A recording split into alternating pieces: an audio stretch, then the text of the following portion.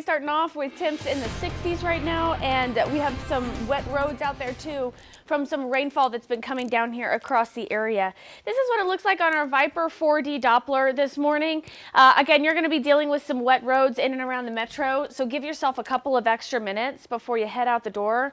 Uh, as we make our through the day, though, this will be clearing out quickly. You're going to see more sunshine later this afternoon, and uh, and then those temperatures, though, they'll still stay pretty mild. Right now, we're in the 60s 60s here in Tulsa. Let's see if we can show you those temperatures.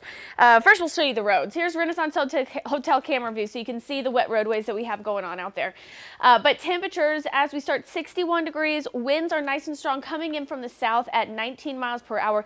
This, the winds will also be shifting today too. We're watching as a frontal boundary moves through, and that's going to shift our winds in out of the uh, south to the north at about 5 to 15 miles an hour. Then later on this afternoon, and these temperatures again will be climbing up just a bit. And keep in mind too, our average high this time of year is 47 degrees, so we're already starting our day off well above where our average high is. Upper 50s for a few of us. Otherwise, we have low 60s, and uh, then the winds again are coming in around uh, 15, even close to 20 miles per hour sustained. Some of those gusts getting up closer to 30 miles per hour in spots this morning. So a windy and uh, kind of muggy start to the day for us. Now these showers that we have out there should be making their way out. I suspect closer to around 7 to 8 a.m. We're going to see them already out of here because they're already starting to move out of the metro a bit. Uh, and then for the rest of the day, again, you'll look for sunshine with lighter winds as those start to shift. They'll be out of the west and then we'll see them from the north later on today. Now our temps are only going to climb to about 68. Again, your average high is 47, so we're a good 20 degrees warmer uh, than where we should be for this time of year. Uh, and again, we'll be looking for average uh, temperatures across the area to be above average there as we head throughout the day. Uh, and uh, going into next couple days ahead, though, with this frontal boundary that moves through, it will start to knock temperatures back down a bit.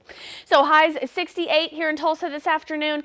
Tonight's quiet with mostly clear skies. We're going to be dropping down into the 30s as we start tomorrow morning, so it will be a little bit uh, cooler for us, not quite so mild. You'll need the jacket back tomorrow. This morning, you may not need it, just maybe a, uh, an umbrella with you as you head out. But tomorrow, we'll need that jacket uh, back as those temperatures start off in the 30s.